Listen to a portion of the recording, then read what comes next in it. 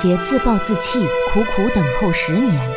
他肯定是希望他，他回来啊，就对他感情很深。对，他本应魅力中年，为何却似老妇人一般？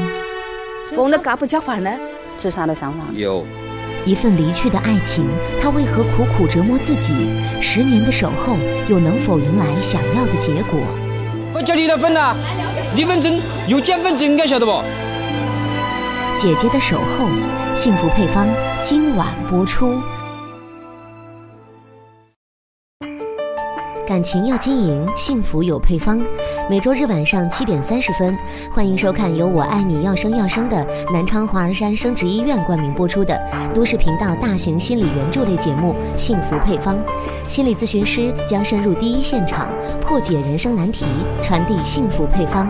华儿山医院十五年全链条助孕，与您幸福同行。今天节目的求助人是一名四十岁的男子王涛，南昌人。他说，姐夫已经离开姐姐十年，但姐姐却一直在等待姐夫的归来，并且姐姐现在连一日三餐都不按时吃，身体一天天的垮了下去。对此他心疼不已。王涛希望心理咨询师能打开姐姐心结，并且还希望能找到男方解决此事。你自己觉得你姐姐一直是在等你姐夫回来？他肯定是希望他，他回来啊，就对他感情很深，对的，然后一直在等他。对，他住的地方一直一直都没变动。四十岁的王涛言语中充满了对姐姐的心疼和无奈。他说，以前姐姐和姐夫的感情非常好，但自从姐夫离开后，姐姐便开始自暴自弃，似乎对生活已经失去了希望和动力。他现在啊，付出的东西太多了。嗯，最让你心痛的是什么？身体拖垮了，没有身体了，每天就是萝卜干盐在。王涛说，姐姐过年的时候甚至五天五夜不起床，茶饭不思，自己看到后十分心疼，多番劝说，但姐姐根本不听，他和母亲都实在没有办法了。他有些做，有些不做，疯了，嘎不吃饭呢？眼前这位是王涛的母亲，她跟着儿子生活。为了让女儿的生活能步入正轨，她安排女儿在一家内衣厂工作，但女儿经常做着做着就不做了。她十分担心女儿的精神状况。王涛和母亲都认为，王静现在过得如此凄惨，都是因为她的丈夫。他们认为两人并未离婚，男方这样失踪这么多年，实在太不负责任。肯定很担心呢。万一他是，万一他有个三长两短呢？他现在有这种想法吗？有，自杀的想法。有。王涛说：“姐姐现在甚至有了轻生的念头，这一切都让他和母亲感到提心吊胆，觉得必须要赶紧解决姐姐姐夫的问题了。曾经他也找过当地的镇政府求助，但答复都是男方没有回来。那么他的姐夫到底去了哪里呢？”就是男方没回来，就是说他的男方在浙江，在浙江那边，他不回来。对他不回，他没回，他就说没回来。这里面只是说对方没回来，还没有完全调解过一次。对。王涛心痛地表示，当年姐夫家为了要个儿子，不惜让怀胎八月的姐姐去引产，术中突发意外，出血不止，命悬一线。本以为姐姐历经劫难之后，姐夫会更加疼爱姐姐，然而不久后，姐夫就另结新欢。已经发现男方找了，找了找了一个大学生呢。据王涛所言，姐夫婚内出轨，背着姐姐和一个女大学生恋爱，导致夫妻关系破裂。但两人并未离婚，姐夫就带着第三者去了浙江，而姐姐却十年来都没能从失败的婚姻打击中走出来，被现实折磨得面目全非。我问你，犯了自宫这有劳作吗？眼前这个面容憔悴的女人，就是王涛的姐姐王静。才四十五岁的她，看起来比同龄人显得更加疲惫和衰老。对于丈夫十年前的背叛，王静依然怨气十足。就中间加了一个女的，就那女的愿意跟他做朋友、做情人，就这样慢慢的把我遗弃。所以就这样，那个女的死活都愿意。还蛮意外的。因为他的姐姐是四十多岁，但是整个人的状态呀，看起来很像五六十岁的人。个子很小，然后很瘦，呃，跟他简单的交流的时候呢，我会发现他的情感是很淡漠的。心理咨询师认为，常年的独居让王静有些许异常。王静坦言，当年丈夫出轨，两人冲突频发，丈夫也不回家，她别无选择，最后只能被迫从三人关系中退出。当年你们俩吵架闹分手，是不是跟他们家想要一个儿子有关系啊？有老大关系。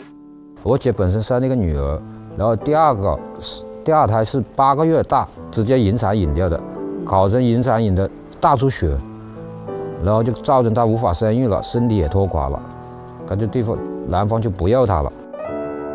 难道两人并未离婚，王涛的姐夫就抛弃妻子，另外组建了家庭吗？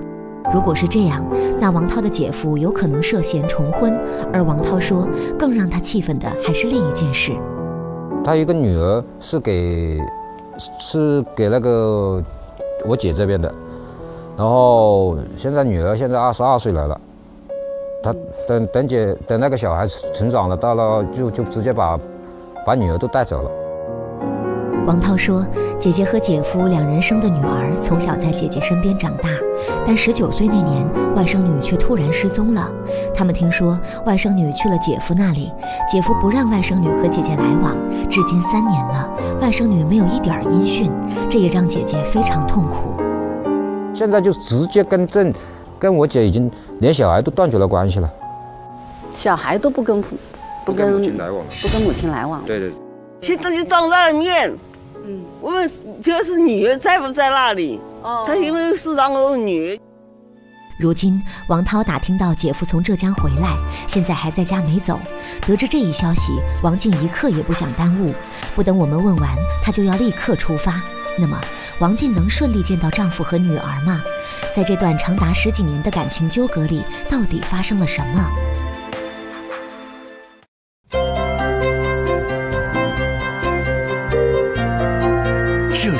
江西二套，你的都市频道。江西都市频道温馨提示：久坐久站容易引发腰椎间盘突出、腰疼、腿疼、坐骨神经痛、椎管狭窄、腰椎骨质增生。呵护腰间盘健康，舒筋健腰很重要。人老戏不老，全靠腰腿好。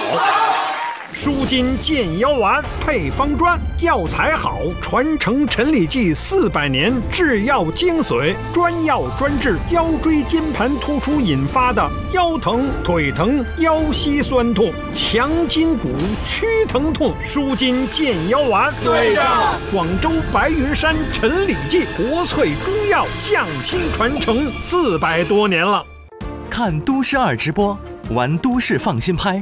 都市放心拍，创新购物新体验，从生活好物到车辆房产，精选拍品，干拍。通就能一键竞拍，法拍资产，法律专家直播答疑，新节目新平台，都市二直播，边看边拍，都市放心拍，拍卖可以很简单。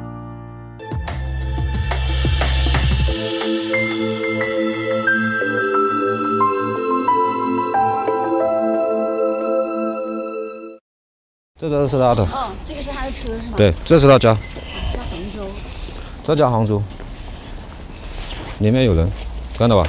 哦，这是他们家的那个。哎，这是呀。是。这是他妈妈，这是他爸爸。做什么嘛？啊。他们家的。干嘛嘞？在外面。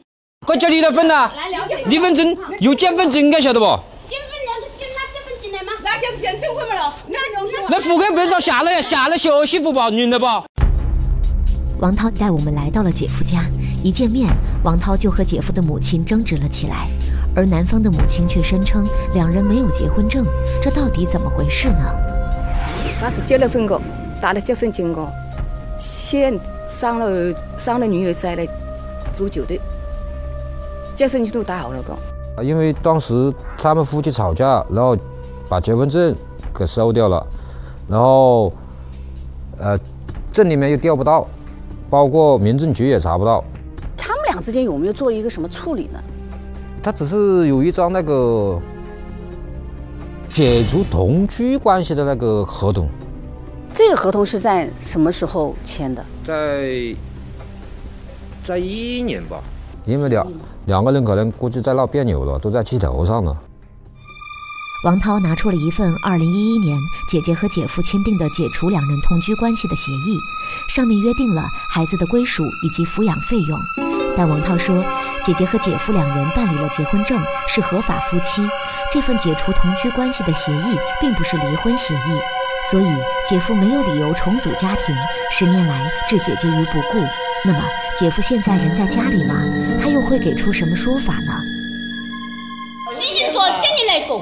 来的，是今年来过，今天来的。你家门那嘎讲的啥？他来了，他讲女儿在吗？在里面，在里面是吧？王静在旁边的小卧室里发现了三年未见的女儿欣欣，但女儿似乎并不想理王静。母女之间三年未见，为何女儿对妈妈竟然如此疏离呢？呃，现在不理我了。你一直在，你你一直在哪里啊？王静试图跟女儿说话，但女儿却态度冷淡。房间里还有一个孩子和女人，他们看到王静的纠缠，三个人都上楼去了。王静想跟上去，却被婆婆阻拦在了楼梯口。王静告诉我们，那个女人就是当年的第三者。你要不好？要不就叫他出来了，好不好？上头来，好不好你？叫来叫来，我冇打了，打快出来，叫上去，让他让他上去嘛。星星啊，那个上街就是个有钱的上街，家有婚姻存在，还有婚姻存在，我的听好了哦，就是，我的听好了哦，你送的，牛就送的。家有婚姻存在，要不就来出来，好不好？时间。叫快出来。你叫来，你叫来。他爸爸在里面。他爸爸在里面呢。是啊，他不管他爸爸在不在，这个事情今天都要解决。对。王静声称，孩子的父亲也在里面。那你们如果说不出来的话，可能这个事情还解决不了。那一直在这里也不是办法。在心理咨询师的劝导下，最终孩子的父亲刘强答应接受采访。那么，当年到底发生了什么？时隔十年之后，他们这场纠葛又能否结束？结婚的时候多大？那办酒的时候是二十岁吧，应该是。刘强回忆，当年他还不满二十岁，就经媒人介绍认识了王静。之后，王静很快就怀孕了，他们奉子成婚。前几年生活还算平静，但结婚六七年之后，妻子经常怀疑他和家里抱养的妹妹关系不寻常。我本来是两姐妹嘛，两姐妹呢是我姐我姐去世了之后就捡了一个妹妹，知道吧？嗯，捡了一个妹妹呢，她就整天怀疑我跟我妹妹有关系，而且他是什么情况呢？嗯，是他自己做梦，梦见那个我跟我妹妹两个人之间呢老是在一起，嗯就经常找这个事情跟我吵架，知道吧？你们就是有什么就是让他觉得有误会的事情吗？他我刚刚跟你说过了呀，他就做梦呀。他就是做梦。对呀、就做他没有梦呀，任何的一点点的，没有任何一点的什么蛛丝马迹之类的。往事浮上心头，刘强的情绪逐渐激动。他气愤地表示，因为这个事情，王进经常和他发生争执。如果不是因为这个事情，他们夫妻也不至于走到这一步。那么后来又发生了什么，导致双方决裂呢？他人在外面身边有女的，你这你发现了吗？有证据吗？有证据啊抓到了，打了架了，打了打了，你跟他打了架，打了架，进了派出所。第二胎就不是引产了，就不想要了是。谁是是谁提出来要去引产的？听说那个时候引产已经是八个月了。那谁提出来的？谁记得呀？我也不记得嘞。那个是是很危险，很危险。我们不是一直在给他抢救吗？那个时候你们感情怎么样？不是特别好。不是因为你们家想要他要生一个孩子，男孩吗？我是因为生小孩的话，如果是我，如果我生小孩的话，我早就找到外面找了一个生小孩了。刘强坦言，两人婚前没有过多了解，婚后他发现两人冲突频发，再加上后来妻子疑心过重，夫妻感情逐渐淡漠。但他并没有重男轻女的观念，并且刘强否认两人办理了结婚证，并不是法律意义上的夫妻。你们当时结婚的时候办了结婚证吗？没有，没有办结婚证，为什么没办结婚证呢？年纪没到啊。那么谁说的是实话呢？解除同居关系的协议又是怎么回事呢？他觉得你们这个婚姻关系还是存续的。那我跟你说啊，打了结婚证上面可以查得到的。再一个，如果打了结婚证，我不可能拿到第二份结婚证，对不对？就是这种耍耍无赖的这种形式，你知道吗？我没办法呀，我跟他谈不到一起，所以说一直我就只能是躲着呀，我惹不起我躲得起嘛。刘强说：“因为没有结婚证，所以两人签了一个解除同居关系的协议。然而，女方这边不承认。你们纠结点呢，其实就是在有没有结婚证上，对对吗？那有和没有，你你你们觉得这个意义大吗？这关系很大。嗯，你说，如果没有的话，嗯那就表示这个人已经彻底完了。嗯，如果有的话，就是那这我就我就可以走法律程序啊。嗯，走法律程序干嘛呢？走法律程序是对方就重婚罪啊。王涛认为，当初两人办理了结婚证，没有办理离婚手续，两人的婚姻就存在。姐夫现在在浙江还有妻儿，这种行为就涉嫌重婚犯罪。他的生活状况是这样的，他大概五天都可以不出门，天天在家里，那那个事情也不吃饭。话他过现在过得不管怎么好也好，差也好，嗯，跟我一点关系都没有。现在。刘强坦言，当年两人分开时，民政系统没有两人结婚证明，所以解除同居协议就是两人婚姻关系的结束，并且他当时净身出户，为这段失败的婚姻也付出了代价。女儿的抚养费，他也一直付到十八岁。而对于女方这么多年来一直在找他的这件事，刘强表示不能理解。被他逼得逼到逼到外外面去了呀！我那个时候我我被那个时候被逼的逼逼的跑跑到外面有多苦！刘强告诉鞠老师，为了躲避女方，这些年他不得不远离家乡，在外地白手起家，吃尽了苦头，如今也算是事业有成。后悔，后悔找了他呗，后悔没自己了解，后悔自己找了太早。对于女方所说她是为了生儿子出轨一事，刘强也予以了否认。但刘强表示，他父母想要个孙子也是人之常情，但他对于有无儿子并没有要求。我也问了律师，假如是结婚证打出来了，有结婚证的情况下，那么这种单子就没用的。王涛说，姐姐姐夫当年确实是打了结婚证，他咨询了律师，如果结婚证能查出来，这个解除同居关系的协议就没有效力。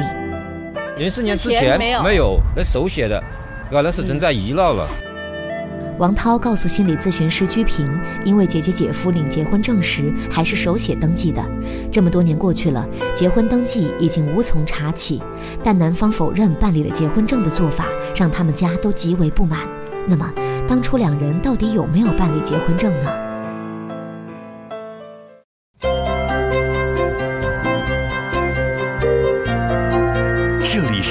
西二套，你的都市频道。江西电视台都市频道温馨提示：头晕、头痛、胸闷、心慌，要警惕粘稠的血液正在堵塞您的血管，请及时清血。血液清，血管通，心脑才好。血液粘稠，就怕堵了心和脑，经常头晕、头痛、血热、乏力，你需要清血。清血八味片，粘稠的血液缓慢流进心脏，流过大脑，容易引发头晕、头痛、血热、乏力，就怕堵了心和脑。清血八味片，三百年清血古方，专药清哄血，祝您血液不粘稠，哄血清，心脑好。专药清哄血，梦琪清血八味片。看出来吗？看不出来啊。好醋你要闻哦，我闻闻。好醋你来尝，哈，我尝尝。纯粮酿造无添加，醇香酸爽好纯酿。长康纯酿白醋就是惊喜的味道。为成长添一份保障，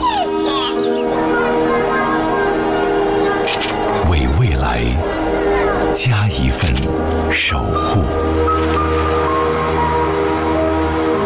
为生命多一份关爱。系好安全带，一路保平安。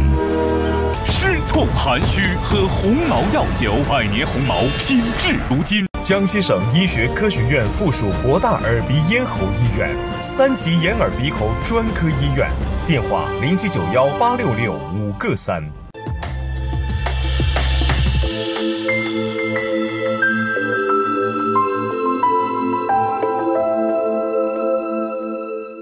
那以前能不能叫他当我全电视能上电视，看看他看看忍忍得过忍没忍过。刘强面对王静的质问，选择了沉默。那么现在王静有什么诉求呢？婚姻让他截断嘛，还有一个治治治病也也问他说，没截断婚姻，我有权利那种。那看他有没有良心了？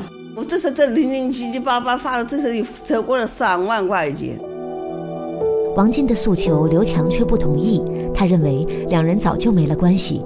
那么，如果当初两人办理了结婚证，这份解除同居关系的协议还有法律效力吗？刘强又是否涉及到重婚呢？现场我们联系了律师。因为没有档案记录。民政民政部门没有档案记录，然后结婚证的原件你们也因为就是撕毁了，对，那所以呢，但是呢，女方的这个呃户口本上体现的说她是是已婚状态，男的是一直显示未婚状态，那是没有更新的原因。那现在就是你们签了这个呃解除同居关系以后，男的已经是再婚了，而且是领了这个呃结婚证的，对吧？生了小孩的。对。那从这个这个层面来讲的话。那其实这个女方其实她已经是单身了。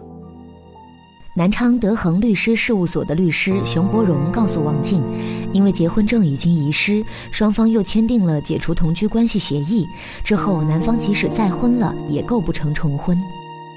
因为现在呢，没有结婚证呢，你就不是夫妻，你知道吧？没有什么事实婚姻一说的，所以他这个解除同居是可以说得过去的。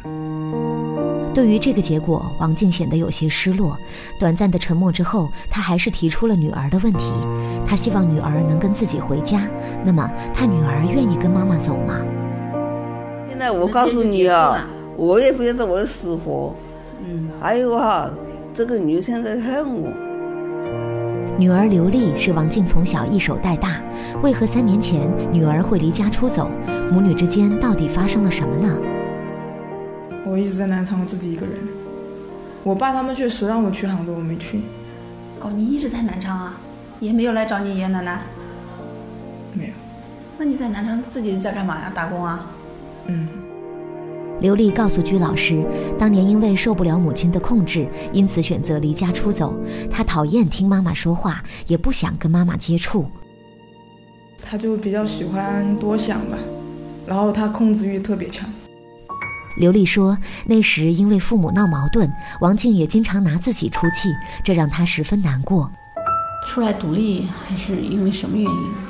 就不想跟他在一起。”而刘强也告诉我们，王静为了要挟他，孩子读完小学就不让女儿读书了。他说：“他把把他给卖了，呃，卖了呢，然后他他说他要换钱，他就不让他好过，要报复我，拿女儿来报复。”刘强言语中控诉着王静，他说是王静让女儿成了他们婚姻失败的牺牲品。不是没钱了，一个没有付，一个我不让他读啊。他爸他爸爸不肯跟我办离婚，我一直问他要那个离婚证，他签协议他就不肯办那个离婚证，所以就拿这个要挟他。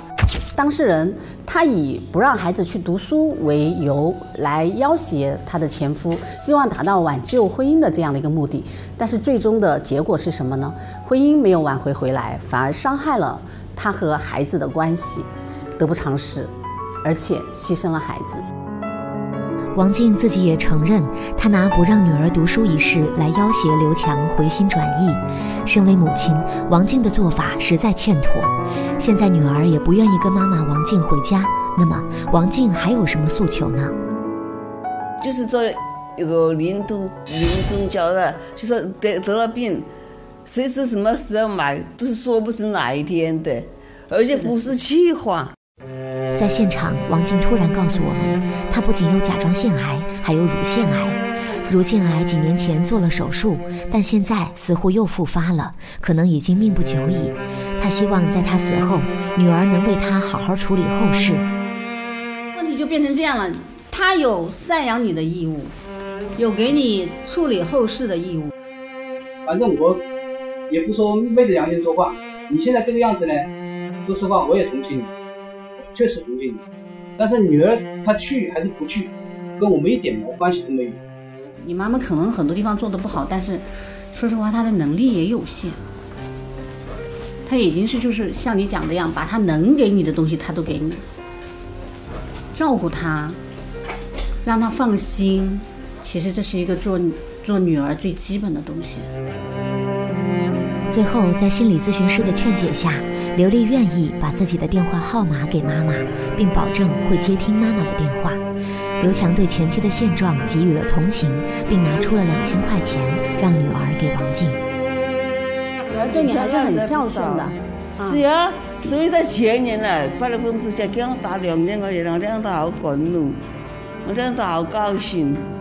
最后，心理咨询师居平也为这对母女俩给出了幸福配方：不要走他们的老路，把握好自己未来的人生。